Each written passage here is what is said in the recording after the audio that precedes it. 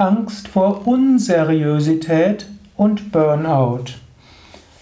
Ein Eintrag im Yoga Vidya Lexikon der Persönlichkeit, ein Eintrag im Umgang mit Burnout Podcast. Ich bin gerade dabei, einige Eigenschaften zu ja, behandeln und sie auch vor dem Hintergrund des Burnout zu betrachten.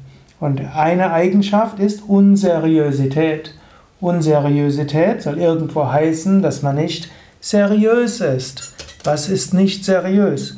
Nicht seriös soll heißen, man hm, ist nicht professionell, man ist nicht zuverlässig, man macht es nicht nach, äh, wichtig, nach ernstzunehmenden Gesichtspunkten. Also Unseriosität kann verschiedene, wie könnte man sagen, kann verschiedene Formen annehmen.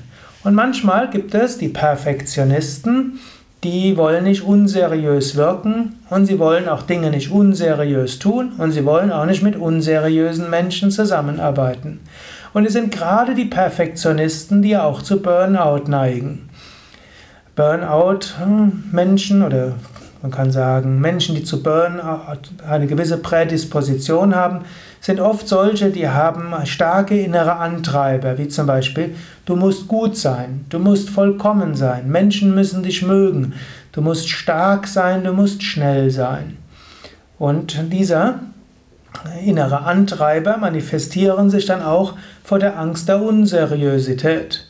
Du hast Angst, einfach mal Dinge einfach mal so zu machen, schnell zu machen, plötzlich zu machen.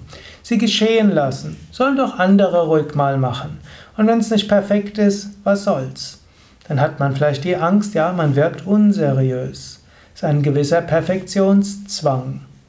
Es gibt ein sogenanntes Pareto-Prinzip und es hat viele Ausprägungen. Eines davon ist, sagt, in 80% der Fällen reicht 80% Genauigkeit und diese braucht nur 20% der Zeit. Menschen, die Angst vor Unseriosität haben, die machen vielleicht in 98% der Fälle alles mit mindestens 98% Genauigkeit und brauchen viermal so lang, als sie brauchen würden, wenn sie da mit 20% genau, mit 80% Genauigkeit zufrieden sein würden. Und so muss man immer wieder abwägen, welche Genauigkeit ist hier notwendig und wie viel kann ich einfach loslassen. Wie häufig reicht es aus, Unvollkommenes zu machen? Und dann, wie viel Zeit brauche ich dafür, es in ausreichender Genauigkeit zu machen, ohne wirklich unseriös zu wirken? Und Menschen, die sehr gewissenhaft sind, die müssen sich das öfters fragen. Menschen mit hoher Gewissenhaftigkeit sollten öfters ihre Angst vor Unseriosität überwinden und ruhig mal leben lernen, öfters mal pragmatisch zu sein, öfters auch mal einfach loszulassen, Dinge geschehen zu lassen und ruhig auch mal ein bisschen zu schlampen, also ein bisschen hm, unordentlich sein, keine Angst vor Unseriosität, insbesondere wenn du jemand bist, der sehr gewohnt, der gewohnt ist, sehr exakt zu arbeiten.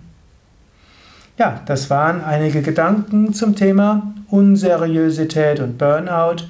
Mein Name ist Sukadev Bretz von www.yoga-vidya.de